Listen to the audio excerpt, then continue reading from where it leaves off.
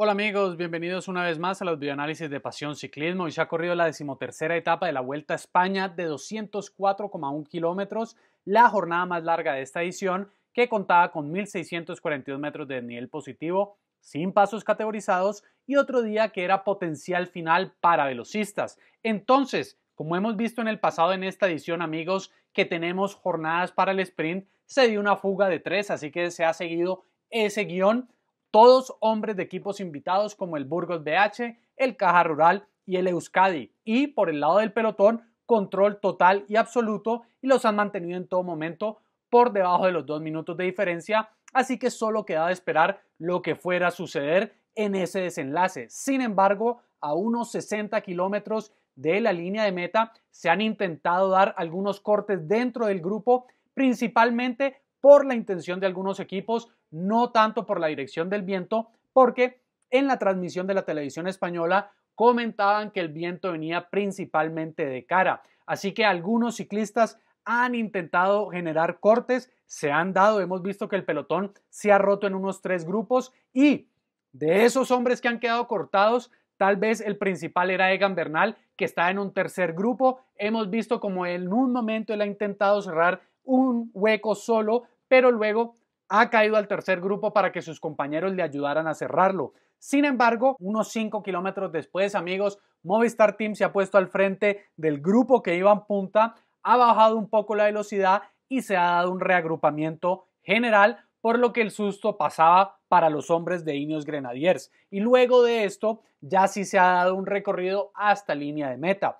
Dentro de los 10 kilómetros finales, hemos visto la aparición de Kuning Quickstep. Hoy el equipo más potente le había puesto un tren de unos tres ciclistas a Fabio Jacobsen, que es el que porta esa camisa de líder de la clasificación de los puntos.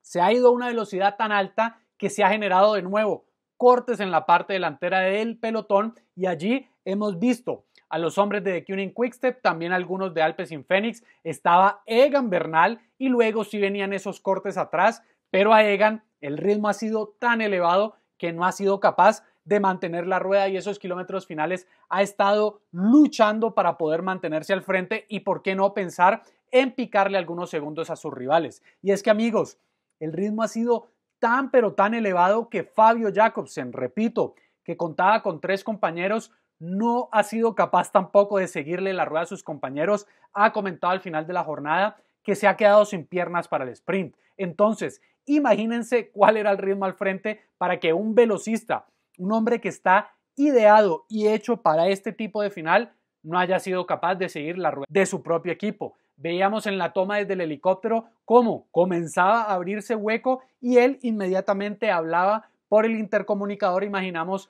para avisarle a sus compañeros que no iba más, que el triunfo dependía de ellos. Y Así hemos llegado entonces al último kilómetro, con Zdenek Stibar, Bert Van Lerberg y Florian Senechal, los tres hombres del de Kuning Quickstep. Stibar se quitó a 900 metros de la línea y allí fue el turno para Bert Van Lerberg de ponerse a trabajar. Pero Alpecin Phoenix también tenía dos hombres, Alexander Krieger y Sasha Módulo. Así que a unos 700 o 600 metros de la línea se puso al frente del grupo Alexander Krieger para, imagino yo, intentar hacer el lanzamiento de su compañero módulo, pero este fue otro que no tuvo ni siquiera las piernas para seguir el movimiento y estuvo trabajando Krieger, pero módulo ya había quedado cortado. Así que le hizo, en otras palabras, el lanzamiento a Florian Senechal y Mateo Trentin del UAE Team Emirates. Y a falta de unos 200 metros, el francés del de Kuning Quickstep lanzó su sprint. Mateo Trentin trató de contrarrestarle, pero la verdad fue un sprint, amigos,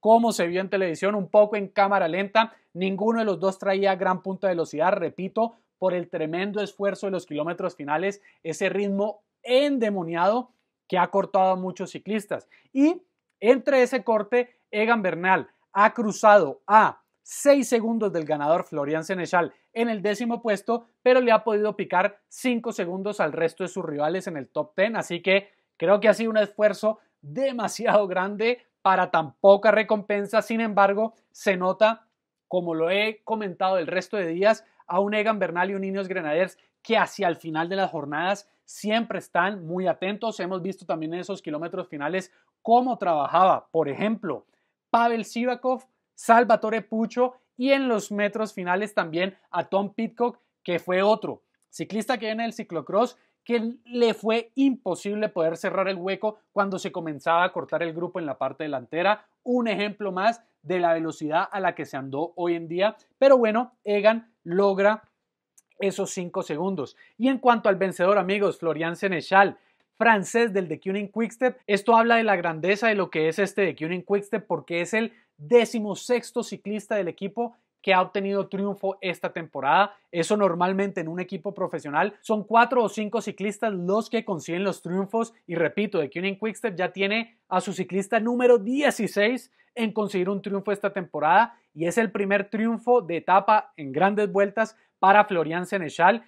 Amigos, ellos pueden ganar con quien quieran. No tuvo piernas su sprinter, pues pusieron a uno de los lanzadores y consigue el triunfo. Impresionante lo que hace de Quick Quickstep, el equipo más ganador de la temporada, un equipo que normalmente es el que puntea esta tabla de triunfos y este año ya han conseguido nada más y nada menos que 52 victorias. Como no, es el equipo más ganador de lo que llevamos de año. Y en la general, amigos, pocos cambios, solo esos 5 segundos que picó Egan Bernal, pero sigue el líder Odd Christian Aiking del Intermarché Wanty Gobert, segundo es Guillaume Martana 58 segundos, Tercero, Primo Roglic, máximo favorito a minutos 56 segundos. Cuarto, Enric Mas a 2 minutos 31 segundos, a 35 segundos de Primo Roglic. Quinto, el colombiano Miguel Ángel López a 3 minutos 28. Sexto, el australiano Jack Haig a 3 minutos 55 segundos. Bernal es séptimo a 4 minutos 41 segundos. Su compañero de equipo Adam Yates octavo a 4 minutos 57. Noveno es Sepp Kos a 5 minutos 3. Décimo, Félix Grosscharner a 5 minutos 38 segundos y ya en el puesto 11 está el ruso Alexander Blasov de Astana Premier Tech a 6 minutos 8 segundos. Este ruso que el próximo año estará corriendo con Bora Hansgrohe. Así que pocos cambios. Para mañana, jornada 14 de 166,2 kilómetros, 3.448 metros de nivel positivo. Regresa a la montaña con tres pasos categorizados, infinal alto de primera, de 14,4 kilómetros al 6,3% de inclinación. Es un puerto muy pedaleable con apenas un kilómetro al 10,7%, pero de resto tiene 5 kilómetros por debajo del 6%. Así que todo dependerá de la dureza previa al final para ver si tenemos diferencias de tiempo cuando termine la jornada. En la lucha por la general se espera el duelo entre Roglic, los dos Movistar, además de Jack Hay y a ver qué pueden hacer los hombres de Ineos Grenadiers. Sin embargo, es la escuadra telefónica con Enric Mas y Miguel Ángel López los que deben hacer la carrera dura al final para intentar presionar a Roglic. Recordemos que Roglic tiene un par de caídas en los días recientes y el esloveno puede resentir esos golpes si no se le aprieta. No se sabrá en qué nivel está o si tenga alguna consecuencia en su físico. Así que es momento, amigos, no se puede desaprovechar la montaña, que sí, que lo normal es que Primo Roglic siga sacando diferencias de tiempo, por supuesto, pero hay que intentarlo. Para eso tienen a dos hombres allá arriba. Con cualquiera de los dos hay que intentar mover la carrera. Vamos a ver entonces si es día para la general o vemos otro día para la fuga. Así que, ¿qué les pareció la jornada? Y por favor, denme su opinión en la sección de comentarios. Nos reencontramos en una próxima oportunidad. Muchas gracias. Por último, agradecemos a los miembros de nuestro canal por su aporte monetario y por el apoyo incondicional. Apreciamos mucho su esfuerzo y por eso nos esforzamos nosotros más para generar contenido de calidad. Igualmente a todos los que sintonizan, muchas gracias y los esperamos en una próxima oportunidad.